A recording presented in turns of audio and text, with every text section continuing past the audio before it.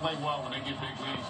Three times this season, they blow leads Roll. 15 points in the Yep. second half. So, Rise. a lot of confidence coming off the winning that Pac-12. This is a Me gang bang. that is Here we are. Can pose right quick.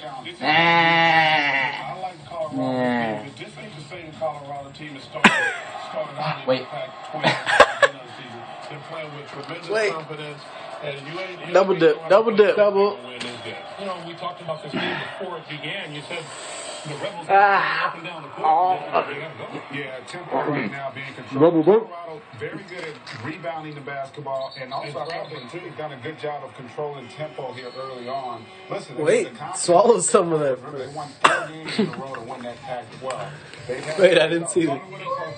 This game on truTV, 16 to 5. Buffaloes in charge, just under 12 minutes. This is what's going away tomorrow, early on.